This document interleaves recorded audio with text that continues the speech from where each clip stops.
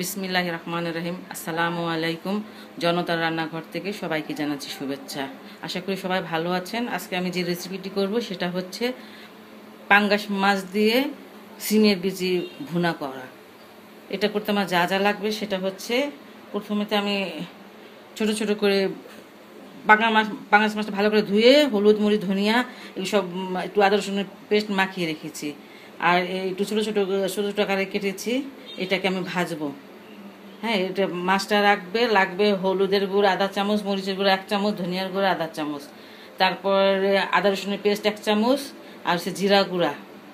আর লাগবে আমার টমেটোর সিম বিচি। এখনকার সিম বিচিগুলো একটু আবাত্তি, সিম বিচি লাগবে এতটুকু, আর ধনিয়া পাতা, আর লাগবে পেঁয়াজ আর কয়েকটা কাঁচামরিচ। হ্যাঁ। এখন আমি একটা প্যানে ভাজার জন্য কিছুটা তেল দিতেছি। মাছগুলো ভাজবো, এই জন্য কিছুটা তেল দিলাম। তেলটা গরম হয়ে গেছে, এখন আমি মাছগুলো দিয়ে দেবো।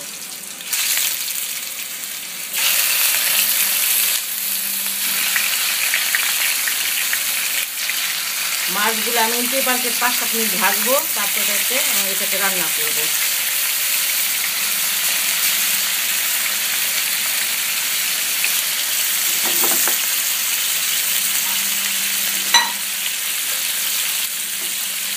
আমার মাছ ভাজাটা হয়ে গেছে।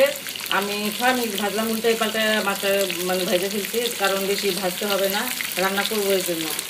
মাছটা ভাজা হয়ে গেছে, এখন আমি এটা রান্নায় চলে যাব। এখন আমি মাছটা রান্না করব। তেল দিয়ে দিয়েছি, পেঁয়াজ, তেলটা গরম হয়ে গেছে, এখন পেঁয়াজটাও দিয়ে দিলাম।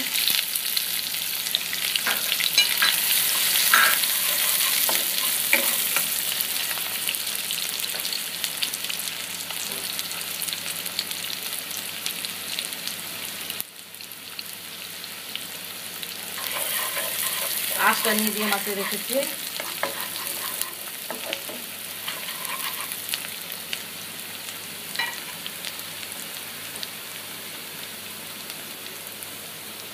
পেঁয়াজটা আমার হয়ে গেছে, আমি আদা রসুনের পেস্টটা দিয়ে দিলাম। আর এটার মধ্যে একটু দেবো পানি পুড়ে না যায় এটা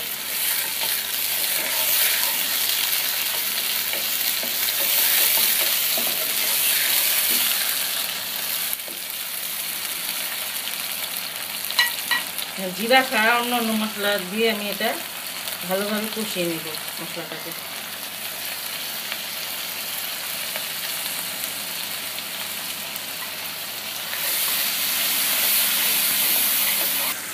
দেখেন মশলাটা কষানো হয়ে গেছে, এখন আমি এটাতে সিম বিচিগুলো দিয়ে দিব। সিমগুলো সিম বিচিগুলো আমি একটু কষাবো। পাঁচ সাত মিনিট সিম বিচিগুলো একটু কষা একটু নরম করে তারপরে মাছটা দিব।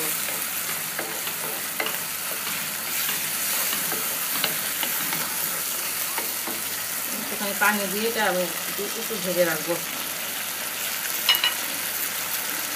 পাঁচ থেকে ছয় মিনিট আঁচটা একটু কমাই দিব। মিডিয়াম থেকে একটু কমে দিব আর শিম বিচিগুলো সিদ্ধ হয়ে যায়। পাঁচ মিনিট কষালাম। কষানোটা হয়ে গেছে। এটাকে আমি এখন মাছগুলো দিয়ে দিব।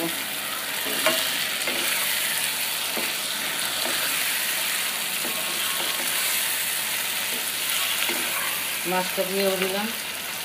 টমেটো, কাঁচামরিচটাও দিয়ে দিব।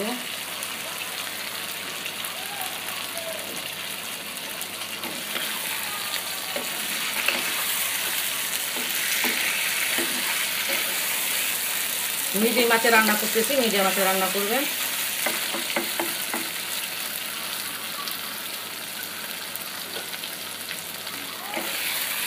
মাছ আর এটা মিলে আমি মিনিট ইয়ে করলাম, কষালাম।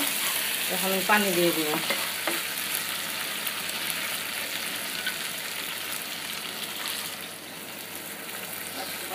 আমার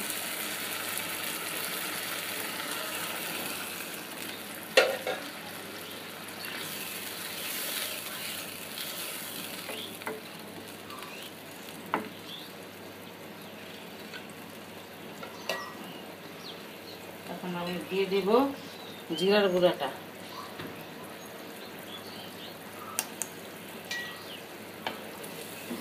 এখন আমি আবারও ঢা মানে ঢেকে রাখব। আবার ঢেকে রেখে এটাকে আমি সাত মিনিটের মতন সাত আট মিনিটের মতো রান্না করব, তারপর আমার তরকারিটা হয়ে যাবে। আমি এটা এখন ঢেকে রাখলাম। নেড়ে দেবো এর মাঝখানে দুই একবার আরও আপনারাও নেড়ে দিবেন। এই সাত মিনিট পর আসলাম। এর মাঝে আমি দুই একবার নেড়ে দিয়েছি, একটু লবণ দরকার ছিল, লবণ দিলাম। ধনিয়া পাতা তো দিয়ে, ধনিয়া পাতাটাও দিয়ে দিয়েছি, তরকারিটা আমার হয়ে গেছে। এখন আমি এটা নামিয়ে ফেলব। আমার এই রেসিপিটি আপনাদের যদি ভালো লাগে, অবশ্যই বাসায় ট্রাই করবেন এবং করবেন বা কেন, খুব সহজ একটি মানে রান্না।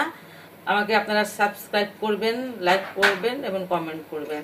আশা করি সবাই ভালো থাকেন সুস্থ থাকেন এবং নিরাপদে থাকবেন। আমার জন্য দোয়া করবেন। আবার কথা হবে অন্য কোনো এক রেসিপিতে